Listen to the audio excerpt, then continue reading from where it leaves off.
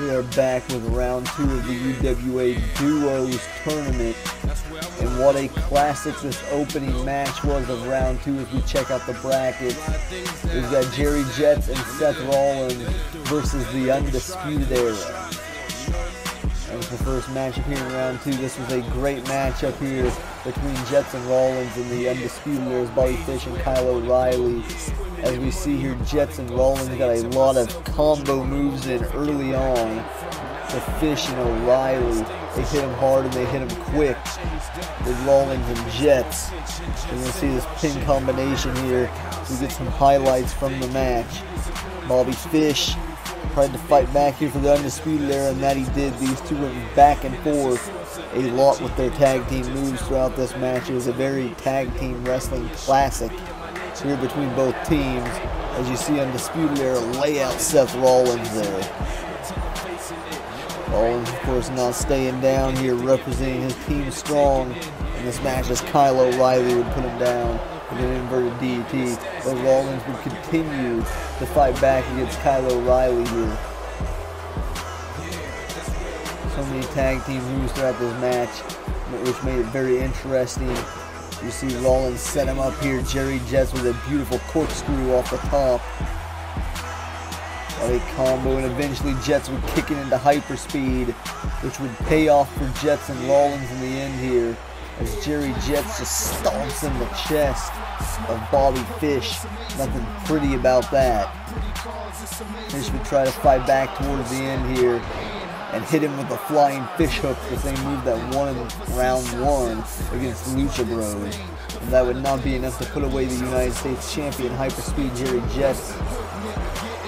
Jets would end up winning this matchup here with the Jetstream Stormbreaker, that move that we've seen back at the Universal Rumble. Move was very brutal here, the Jetstream would pick up the win for Jerry Jets and the man of the universe, Seth freaking Rollins, in your opening contest here for round two.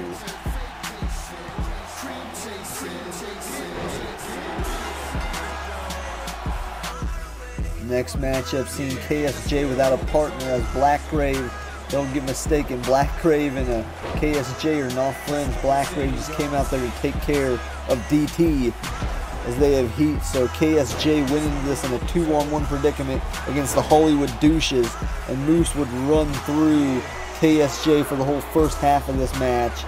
But the Intercontinental Champion would come back with a high knee into the switch off. And to be frankly honest, KSJ would have won the match there if it wasn't for Moose's dad, Hulk Hogan, stepping in to save him. Right there you see Moose getting his hops in there, a couple drop kicks, and a crossbody Moose would fight back before getting hit with a revolving switch from KSJ. Once again, Hogan making the save, proving to be crucial to the victory here for the Hollywood Douches. KSJ would take down Hogan and continue to fight him off here. Hogan never officially got tagged into the match even. See KSJ just continue to attack Hulk Hogan here and that would not set well with Moose Money. As he's seen his father-in-law getting attacked and he would catch KSJ out of nowhere with a game-changer clothesline, which would set him up for the no jackhammer needed spear and that would get Moose the victory over the Intercontinental Champion KSJ. Moose with a pinfall over KSJ. Next up, we've got SCU versus SVU. And this, of course, is as good as it used to be between these two teams. Two teams going back from 2019 as two-thirds of the UWA Trios champions. SVU's Flip Gordon and Sergeant now named Chief Dwight would take it to SCU once again, much like the first match. This was very back and forth with the tag team combination here between SVU and SoCal Uncensored. A very good matchup here as we've seen Frankie Kazarian and Scorpio Sky got quite a bit of offense in as well as SVU. And right here we see the patented SCU stomp. Welcome to SoCal, SCU later, Flip Gordon right here is basically right here is basically assaulting a police officer A lot of police brutality in this match between SCU and SVU. They even got the Mr. Muscles there at one point. And you see Flip Gordon here take back control for SVU when they were in dire